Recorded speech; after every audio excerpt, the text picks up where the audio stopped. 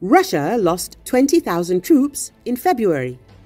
Russia's forces in Ukraine have lost more than 20,000 soldiers in February, with another week left in the month, according to data released by Kyiv's military.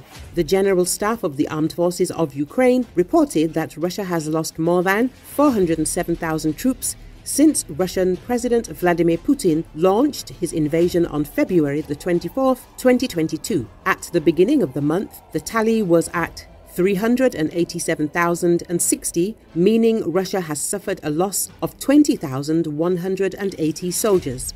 According to Ukraine, 1,160 of those human casualties came in the past day. Russia also lost seven tanks, 35 armored fighting vehicles, 41 artillery systems, and 36 drones in the 24 hour period.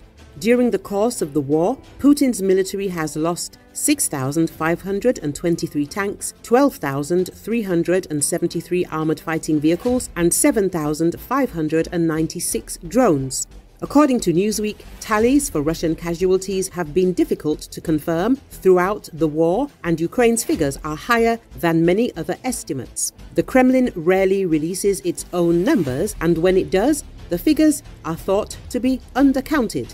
Kiev also does not provide updated information on its war casualties.